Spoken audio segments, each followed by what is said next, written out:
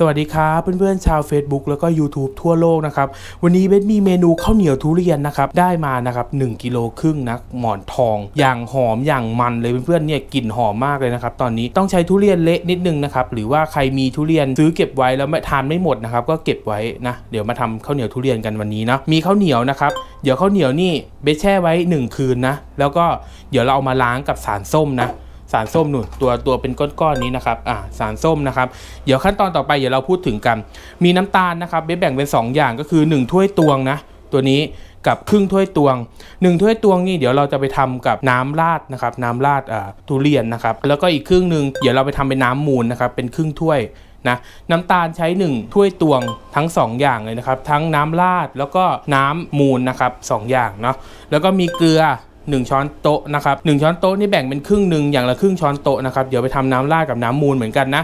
กะทิวันนี้เราใช้ 1กิโลครึ่งนะครับ1กิโลครึ่งแบ่งเป็นน้ำมูลครึ่งกิโลนะครับ500 กรัมนะแล้วก็น้ำราดนะครับ1กิโลนะน้ำเปล่านะครับวันนี้ใช้อย่างละครึ่งถ้วยตวงนะครับนี่น้ำเปล่าน้ำสะอาดนะครับใช้อย่างละครึ่งถ้วยตวง แล้วก็มีใบเตยนะครับอุปกรณ์อาจจะเยอะนิดนึงเดี๋ยวเรามาเจอกันขั้นตอนต่อไปกันดีกว่านะครับว่าวิธีการล้างข้าวเนี่ยให้ขาวให้สะอาดเนี่ยเวลาที่เราไปซื้อข้าวเหนียวมูลเนี่ยทำไมข้าวถึงสวย เรียงเม็ดสวยแล้วก็สะอาดนะครับเดี๋ยวเราไปดูกันเลยว่าวิธีการทำทำยังไงนะครับไปเรามาเริ่มกันเลยนะครับ ขั้นตอนการขัดข้าวนะครับ วันนี้ไปใช้ข้าวเหนียว 1กิโลนะครับลืมบอกนะแล้วก็แช่น้ำข้ามวันนะครับ ใส่ลงไปในชามผสมนะเพื่อนๆเคี่ยวออกให้หมดนะครับ ต้องแช่ข้ามวันเลยถ้าข้ามวันนี้ยิ่งดีนะครับ ขั้นต่ำคือต้องประมาณ 7 ชั่วโมงนะครับนะข้าวเหนียวเขาถึงจะดูดน้ำมูลที่เรามูลได้ เต็มที่นะครับอะขั้นตอนถัดมาเราเอาสารส้มลงนะครับ มากหรือน้อยก็ได้แต่วันนี้ไปใช้ประมาณ 100 กรัมนะครับ ใส่ลงไปขัดนะครับ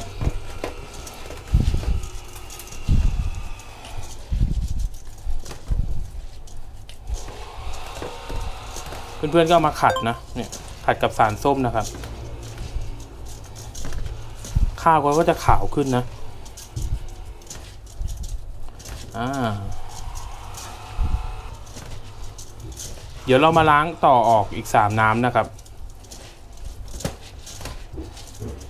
ขัดสักประมาณ 10 นาทีนะเพื่อนๆสารส้มเนี่ยเขาจะมีฤทธิ์ทำให้ตัวข้าวเนี่ยขาวขึ้นนะครับ ส่วนมากร้านที่เขาทำข้าวเหนียวมูลเนี่ยเขาจะทำเกือบทุกร้านนะครับ เพราะว่าเวลาลูกค้าซื้อเนี่ยมันจะทำให้ดูน่าทานมากยิ่งขึ้นนะครับ โอเค เดี๋ยวเรามาเจอกันครับเพื่อนๆขั้นตอนล้างเลย เพื่อนๆก็ถูแบบนี้นะครับ ถูกับข้าวนะครับ ขัดนะขัดกับตัวสารส้มนี่แหละนะสำหรับใครที่อยากได้สูตรนะครับ ดูวิธีการทำเลยนะครับ มีเคล็ดลับ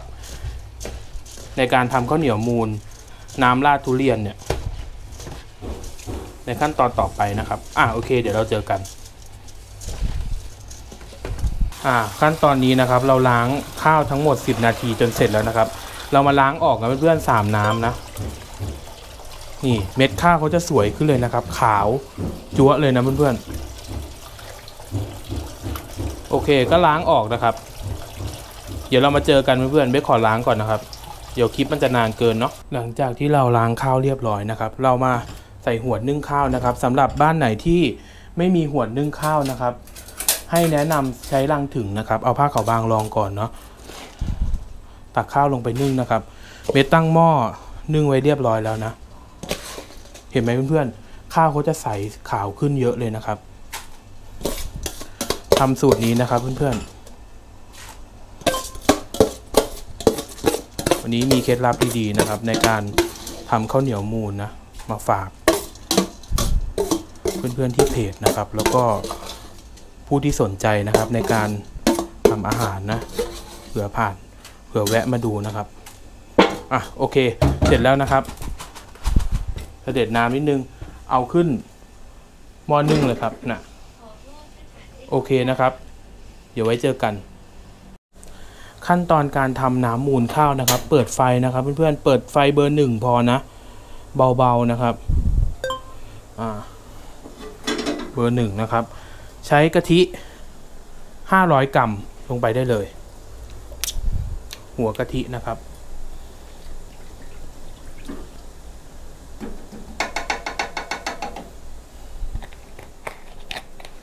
หลังจากนั้นเราเติมเกลือนะครับ ครึ่งช้อนโต๊ะ ให้เขามีรสชาติมันนิดนึงนะครับ ใส่ใบเตยหนึ่งซีกลงไปได้เลยนะ ใส่น้ำตาลมะพร้าวหรือน้ำตาลปึกลงไปได้เลยนะครับหนึ่งถ้วยตวง เดี๋ยวขั้นตอนนี้เราคนนะครับ เติมน้ำนะครับ ครึ่งถ้วยตวง ครึ่งหนึ่งนะครับ ใครที่ชอบหัวกะทิอย่างเดียวก็ได้นะครับเพื่อนๆนะก็ไม่ต้องเติมน้ำนะ ถ้าหัวกะทิอย่างเดียวบางทีไปว่ามันจะเข้มข้นไปนิดนึงนะครับ เอาน้ำมาตัดเขาหน่อยนะ ติมน้ำตาลทรายนะครับ น้ำตาลทรายแดงหรือน้ำตาลทรายขาวก็ได้นะครับ ครึ่งถ้วยตวงใส่ลงไป คนนะครับเพื่อนๆขั้นตอนนี้เราต้องคนนะครับ คนเบาๆไฟอ่อนนะครับ อย่าลืมตรงนี้นะ ดูเรื่องไฟดีๆ เดี๋ยวน้ำมูลตัวนี้เราต้องไปพักไว้นะครับ รอข้าวเหนียวนึ่งสุกข้าวเหนียวก็นึ่งอยู่ข้างๆเนี่ยเพื่อนข้าวเหนียวนี่ใช้เวลานึ่งประมาณ 15 นาทีถึง 20 นาทีนะครับ แล้วแต่ปริมาณมากน้อยเนาะวันนี้ไปใช้ข้าวเหนียว 1 กิโลกรัม นะอืมกลิ่นหอมเลยนะครับ โอเคนะครับเพื่อนๆเดี๋ยวเรามาเจอกัน เทพักไว้ในชามนะครับชามผสมของเรา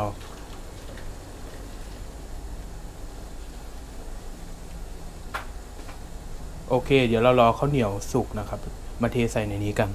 ผ่านไป 20 นาทีนะครับข้าวเหนียวเราสุกแล้ว เรียงเม็ดสวยเลยนะครับเพื่อนๆ เพราะว่าเราใช้อ่า สารส้มนะครับ ขัดเขาเนาะเขาจะทำให้ข้าวขาวแล้วก็เรียงเม็ดสวยนะครับเดี๋ยวจะตักข้าวเหนียวใส่เนาะก็เทลงไปในน้ำได้เลยนะครับ อ่า เทลงไปในน้ำเสร็จเรียบร้อยนะครับ แล้วก็คนนะเพื่อนๆมูนเขานะครับ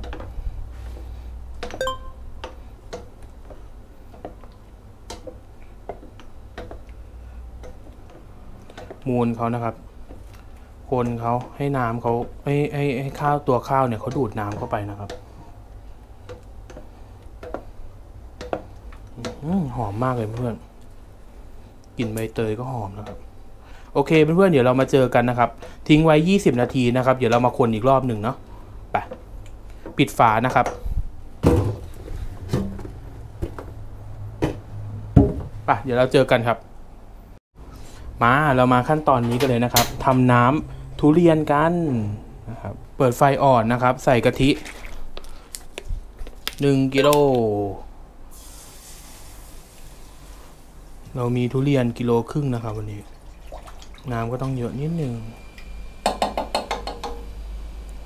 ใครจะใช้กะทิสดหรือกะทิขวดก็ได้นะครับ ทุกวันนี้ไปว่ามันไม่ต่างกันนะ ความหอมความอะไรก็เหมือนกันทั้งคู่นะครับ อ่าโอเคนะครับ เมื่อกี้ เกิดอุบิเหตุนิดหน่อยนะครับ กล้องแบตหมดนะ เปิดไฟนะครับ เบอร์หนึ่งเหมือนเดิมไปใส่น้ำตาลไปหนึ่งถ้วยตวงนะครับ แล้วก็ใบเตยนะ แล้วก็เกลือนะครับ ครึ่งช้อนโต๊ะเหมือนเดิม น้ำตาลทรายหนึ่งถ้วยตวงนะครับนะเหมือนกันกับเมื่อกี้นะครับ แต่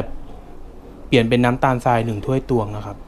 แล้วก็น้ำครึ่งถ้วยตวงเหมือนเดิมนะ เดี๋ยวเราก็คนแบบนี้นะครับ ที่สำคัญไฮไลท์เมื่อกี้เบสไปนี้มา ไปปอกทุเรียนมาหูอย่างเยอะเลยเพื่อนกิโลครึ่ง เม็ดบางๆ เล็กๆ นิดเดียวเอง เนื้อทั้งนั้นนะครับนะเดี๋ยวเบสขอไปแช่ตู้เย็นไว้ก่อนนะครับ แป๊บหนึ่งขั้นตอนนี้เราก็คนนะครับ คนให้น้ำตาลทั้งสองตัวเนี่ยละลายนะครับ ใช้เวลาประมาณ 10 นาทีนะเพื่อนเปิดไฟอ่อนเบอร์หนึ่งนะครับ เหมือนเดิมนะ ใบเตยก็ไว้อย่างเงี้ยครับ คนไปเรื่อยๆเนาะอย่าทิ้งกระทะนะครับมันคนเดี๋ยวกะทิมันแตกมันแล้วมันไม่น่าทานนะครับอะโอเค เดี๋ยวเรามาเจอกันดีกว่านะครับสักแป๊บหนึ่งเนาะข้าวเหนียวของเรานะครับ เปิดฝาเลยนะนี่ผ่านไป 20 นาทีนะครับ เราก็มา คนดูนะครับว่า ได้ยังเนาะ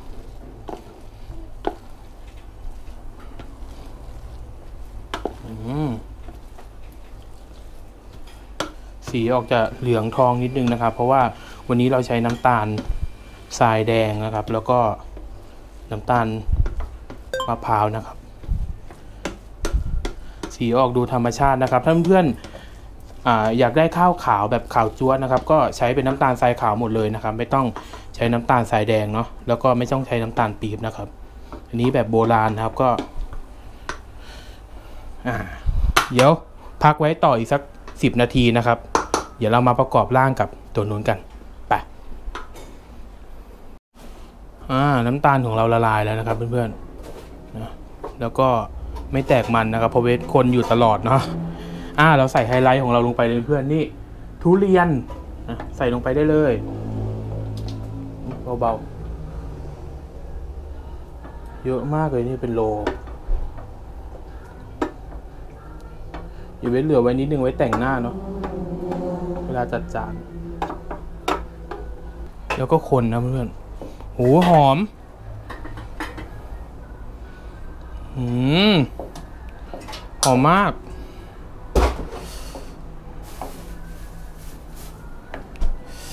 โอ้หอมหอม อ่า เดี๋ยวเราปิดแก๊สเลยนะครับ ขั้นตอนนี้เนาะ ใครจะพักให้เย็นก่อนก็ได้นะครับ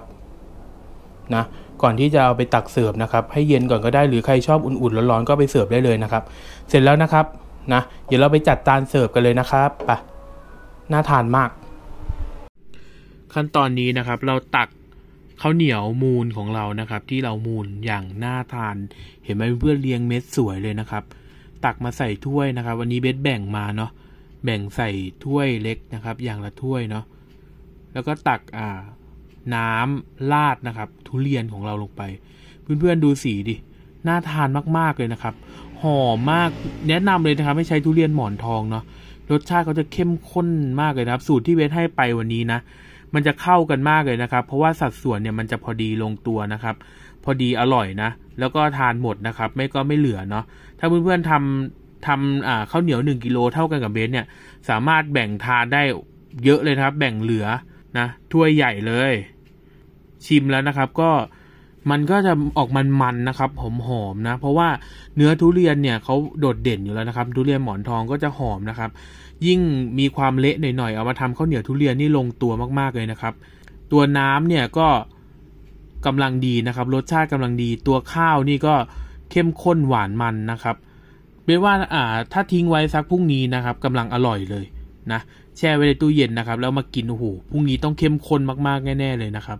เนี่ยอ่าข้าวเหนียวมูลจริงๆแล้วต้องพักไว้หน่อยนะครับ ถึงจะอร่อยเนาะอืมยังไงก็